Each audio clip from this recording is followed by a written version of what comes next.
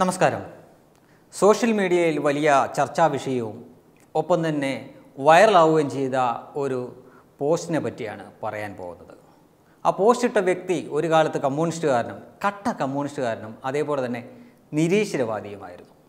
അദ്ദേഹം ഈ പോസ്റ്റ് ഇട്ടിരിക്കുന്ന സാഹചര്യം അതായത് ഇപ്പോൾ തിരുവനന്തപുരത്ത് അനന്തപുരി ഹിന്ദു മഹാസമ്മേളനം നടക്കുകയാണല്ലോ അതിന്റെ രണ്ടാമത്തെ ദിവസമാണ്. ആ ഒരു പശ്ചാത്തലത്തിലാണ് അദ്ദേഹം ഈ പോസ്റ്റ് ഇട്ടിരിക്കുന്നത്. അതിങ്ങനെയാണ് തുടങ്ങുന്നത്? ഇപ്പോൾ ഈ അനന്തപുരി ഹിന്ദു മഹാസമ്മേളനം നടക്കുമ്പോൾ പോലും എന്തുകൊണ്ട് നിരീശ്വരവാദിയായ ഞാൻ ഹിന്ദു വിശ്വാസികളോടൊപ്പം ചേർന്ന് അവരുടെ ഒപ്പം പ്രവർത്തിക്കുന്നു എന്നൊരു ചോദ്യം നേരിടുന്നുണ്ട്. മതത്തെ എതിർത്തിരുന്ന ഞാൻ എങ്ങനെ ഒരു പൂർണ ഹിന്ദുവായി? കമ്മ്യൂണിസ്റ്റായിരുന്ന തീവ്ര നിരീശ്വരവാദ ചിന്താഗതി പുലർത്തിയിരുന്ന കാലത്ത് ഒരുപക്ഷെ ഞാനും ഇന്നത്തെ പോലെ ഉള്ള ഒരാളോട് ആ ചോദ്യം ചോദിച്ചേനെ. അതിന് കാരണം ഈ ചോദ്യം ഒരു സെമിസ്റ്റിക് എക്കോ സിസ്റ്റത്തിൽ നിന്നുയരുന്ന ചോദ്യം ആണെന്നതിനാലാണ്.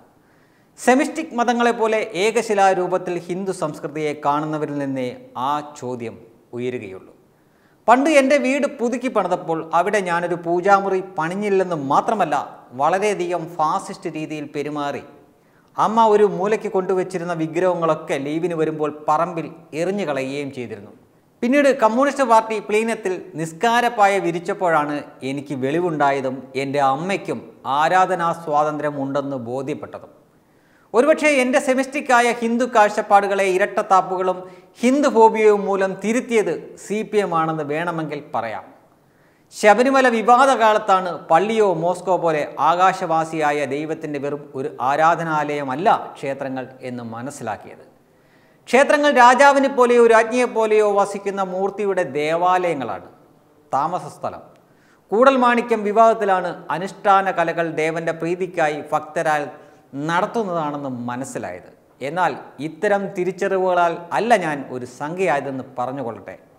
സംഖ്യയായത് ഞാനൊരു പൊളിറ്റിക്കൽ ഹിന്ദു ആകാൻ തീരുമാനിച്ചപ്പോഴാണ്. എന്തിന് പൊളിറ്റിക്കൽ ഹിന്ദു ആകണം എന്ന് ചിന്തിച്ചു എന്ന് വഴിയെ പറയാം. എന്നാൽ ആ ചിന്തയിലേക്ക് നയിച്ചത് ഇന്ത്യയുടെ ചരിത്ര പഠനമാണ് ഫേസ്ബുക്കിലെ തന്നെ സംഖ്യകളുമായുള്ള സംവാദങ്ങളാലാണ്. നിരീശ്വരവാദിയായ ഞാൻ ഹിന്ദു മതത്തിൽ നിന്ന് പുറത്താണെന്നാണ് കരുതിയിരുന്നത്. സെമിസ്റ്റിക് മതങ്ങളുമായി ഹിന്ദു മതത്തെ പാരലൽ ചെയ്തുകൊണ്ടായിരുന്നു അങ്ങനെ സംഭവിച്ചത്.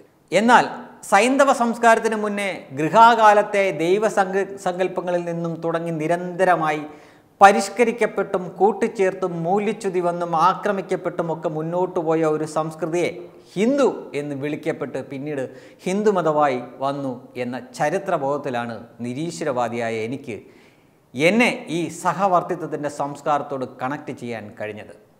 അതിനാൽ ഇസങ്ങൾക്കും അപ്പുറമാണ് ഹിന്ദു എങ്കിലും ഹിന്ദുയിസം എന്ന് വിവക്ഷിച്ചാൽ ഇത് നാനാത്വത്തിൽ ഏകത്വത്തിന്റെ ഇസമാണ്. ഇതിൽ മറ്റു മതങ്ങളെ പോലെ അല്ലാതെ മതമുള്ള ജീവനും മതമില്ലാത്ത ജീവനും ഒരുപോലെ സഹവസിക്കാൻ പറ്റും.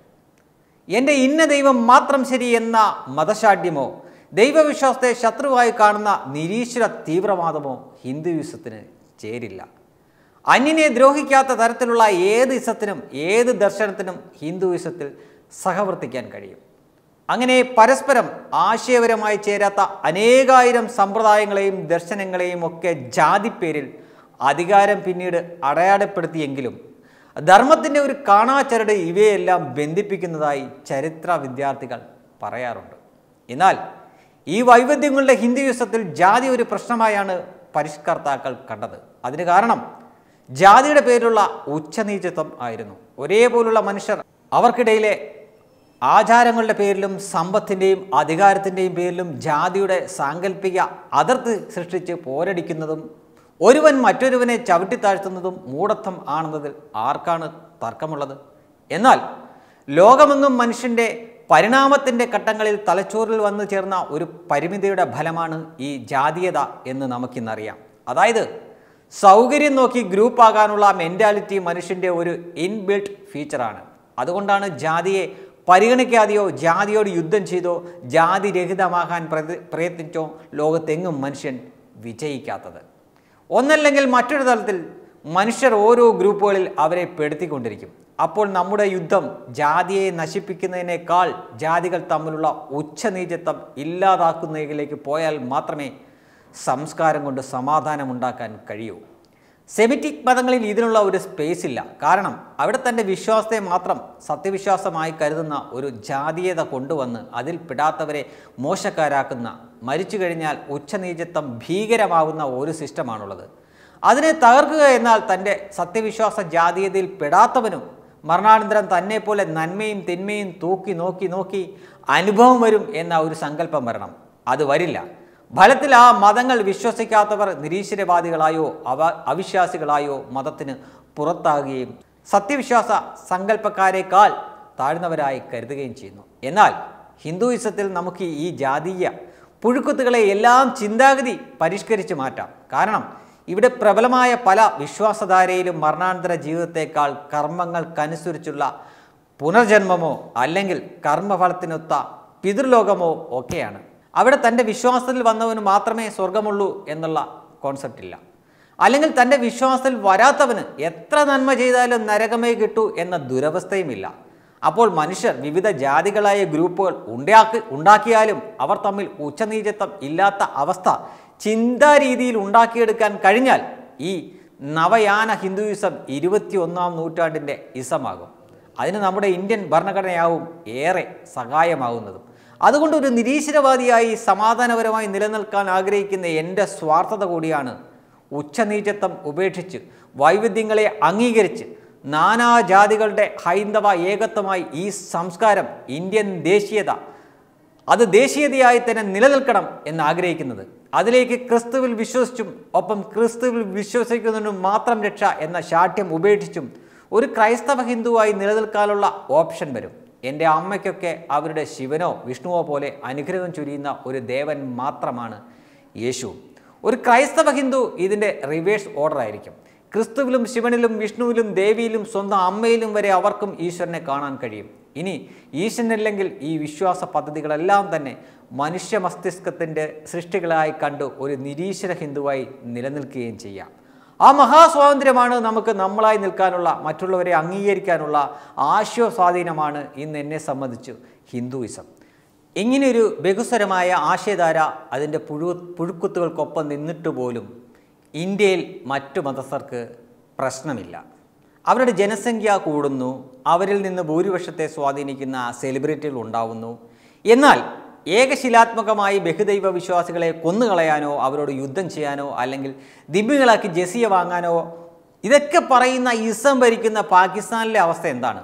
ആ അവസ്ഥ ഇരുപത്തെട്ടിന് ഹിന്ദു മഹാസമ്മേളനത്തിൽ പങ്കെടുക്കുന്ന പാകിസ്ഥാനി ഹിന്ദുക്കൾ വിവരിക്കും. അവിടെ അവരുടെ ജനസംഖ്യ കുറയുന്നു. അവരിൽ നിന്ന് ഇസ്ലാമിക ഭൂരിപക്ഷം ആരാധിക്കുന്ന സെലിബ്രിറ്റികൾ ഉണ്ടാവുന്നില്ല. ജീവിതം അവർക്ക് ഒരു ഞാനിന്മേ കളിയാണ്. സമാധാനമില്ല. മുസ്ലിങ്ങൾ ഇസ്ലാം പിന്തുടരുമ്പോൾ ഹിന്ദുക്കൾ ഇസ്ലാമോ ലെഫ്റ്റ് എന്ന് പറയുന്ന തരം സെക്യുലറിസം പിന്തുടരുന്നത് ആ അവസ്ഥ ഇവിടെയും കൊണ്ടുവരും. ന്യൂനപക്ഷത്തിന് സംഘടിതമായ ആശയം കൊണ്ട് അസംഘടിതമായ ആശയമുള്ള ഭൂരിപക്ഷത്തെ ഭരിക്കാൻ കഴിയും എന്നതിന് ഏറ്റവും വലിയ ഉദാഹരണമാണ് ഹൈന്ദവരുടെ ഇന്ത്യ. നമ്മൾ പൊളിറ്റിക്കൽ ഹിന്ദു ആകുന്നത് ഇങ്ങനെയുള്ള തിരിച്ചറിവിലൂടെയാണ്. വിശ്വാസിയും അവിശ്വാസിയും ഉൾപ്പെട്ട ഏത് ജാതിക്കാരനും ഹിന്ദു എന്ന ഐഡന്റിറ്റിയിൽ ഐക്യപ്പെടേണ്ടത് സ്വന്തം സ്വത്തം ഏതായാലും അത് പാകിസ്ഥാനിലെയോ ബംഗ്ലാദേശിലെയോ അഫ്ഗാനിസ്ഥാനിലെയോ പോലെ യൂണിഫോം ഇട്ട് ആറാം നൂറ്റാണ്ടിലേക്ക് പോകാതിരിക്കാനാണ്. ഉച്ചനീചത്വങ്ങളില്ലാതെ നമുക്ക് ഇഷ്ടമുള്ള വിശ്വാസങ്ങൾ വെച്ചു പുലർത്താനുള്ള സ്വാതന്ത്ര്യമാണ് നമ്മുടെ ഭരണഘടന വിഭാവനം ചെയ്യുന്നത്. ഒരു പൊളിറ്റിക്കൽ ഹിന്ദു ഭരണഘടനാ ഹിന്ദു ആവുന്നതും അങ്ങനെയാണ്. ഈ ഐഡന്റിറ്റി പൊളിറ്റിക്സിനും അപ്പുറത്ത് രവിചന്ദ്രനോ ജബ്ബാർ മാഷോ ഒക്കെ പറയുന്ന മതരഹിത ജീവിതത്തിലേക്ക് എല്ലാ മനുഷ്യരും വരുന്നത് സ്വപ്നം മാത്രമാണ്. അവരാണ് പൊളിറ്റിക്കലി കറക്റ്റ് എങ്കിലും. അപ്പോൾ മതവിശ്വാസം പുലർത്തിയാലും അത് അന്യന് ദോഷമാവാതിരിക്കണം.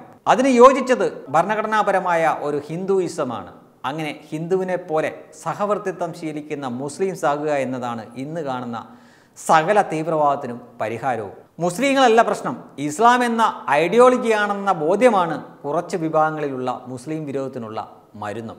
അതായത് ഹിന്ദുവാകുക എന്നത് ഒരു മനോഭാവത്തിലെത്തുക എന്നുള്ളതാണ്. അനുഗ്രഹിക്കുന്ന കൈകൾക്കൊപ്പം പ്രതിരോധത്തിന്റെ ആയുധവും ഏന്തിയ കൈകളുള്ള ഹൈന്ദവ ദേവത സങ്കൽ സങ്കല്പങ്ങൾക്കൊപ്പം ജീവിക്കാൻ ഹിന്ദു പഠിക്കണം. അപ്പോൾ അഫ്ഗാനിസ്ഥാനിലെ പോലെ സാധാരണ മുസ്ലിങ്ങൾക്ക് പോലും ഓടേണ്ടി വരില്ല. പാകിസ്ഥാനി ഹിന്ദുക്കൾക്കും ബംഗ്ലാദേശി ഹിന്ദുക്കൾക്കും ഒന്നും ഇപ്പോഴുള്ള അവസ്ഥ വരികയുമില്ല. ലോകം കുറച്ചുകൂടി ബെറ്ററാകും ഹിന്ദു രാഷ്ട്രം എന്നത് അതിനാൽ തന്നെ ഇസ്ലാമിക രാഷ്ട്രം പോലെ പേടിപ്പെടുത്തുന്നതല്ല. അത് വൈവിധ്യത്തിന്റെ ബഹുസ്വരതയുടെ നാനാത്വത്തിന്റെ ഏകത്വത്തിന്റെ രാഷ്ട്രമായിരിക്കും. ഞാൻ സംഖ്യയാവുന്നത് ഈ ബോധത്തിലാണ്. ഹിന്ദുവായി എന്ന് പറയാൻ പറ്റില്ല. കാരണം നിരീശ്വരവാദി ആയതുകൊണ്ട് ഹിന്ദി അല്ലാ അല്ലാതാകുന്നുമില്ല എന്നത് തന്നെ ഉത്തരം.